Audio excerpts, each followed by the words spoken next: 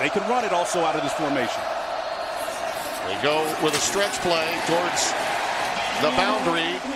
Great defensive work by Cam Brown. Did that ball get on the deck? I think it may have. It did. Penn State's got it. It's Cam Brown. Correlation between these two coaches. East Stroudsburg State is where it began for James. Now at Penn State, lofting it deep.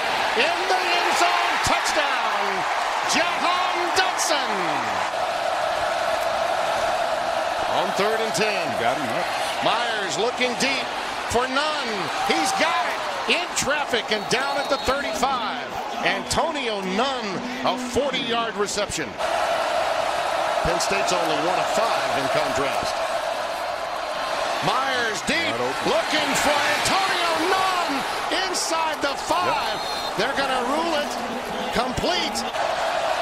Only one timeout remaining for Buffalo. Got a pass open now. There it is. Touchdown. Wow. Tight